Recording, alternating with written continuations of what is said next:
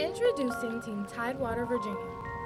Our team of Hampton and Old Dominion University students represent the Tidewater region of Virginia, a place teeming with history where sea and land meet.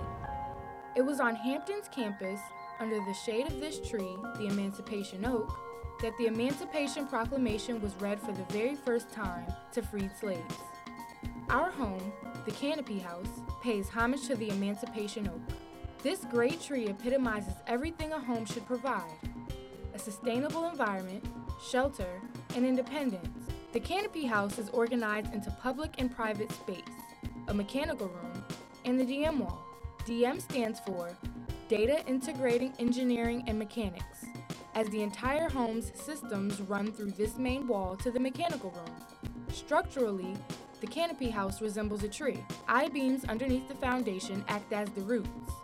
These roots support the trunk, that is, the DIEM wall, which supports the cantilevered branches that frame the solar canopy overhead.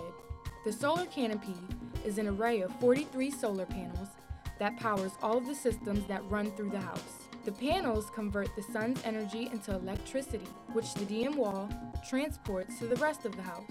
The innovative SunDrum system runs water on the solar panels during peak sunshine. This cools the panels down, making them even more efficient. Recycled water from the SunDrum goes into the hot water system. The tank in the hot water system stores excess heat produced during the day.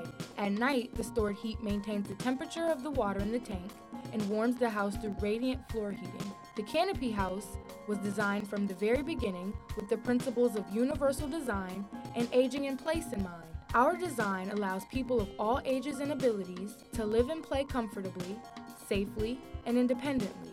Located inside the home on the DIEM wall is Huey. Huey is an interactive, touchscreen, and voice controlled interface. Huey displays information important to the homeowner, such as temperature, weather, energy monitoring, and maintenance. The living room is a very versatile space for entertaining and relaxing. The custom designed sofa pulls out to become a bed that accommodates house guests. The kitchen in the Canopy House features accessible appliances. The dining table can be arranged in multiple configurations for entertaining. In the southwest corner, a set of floor to ceiling windows opens up completely to the outside. This provides both natural ventilation and fosters a connection to the outdoors.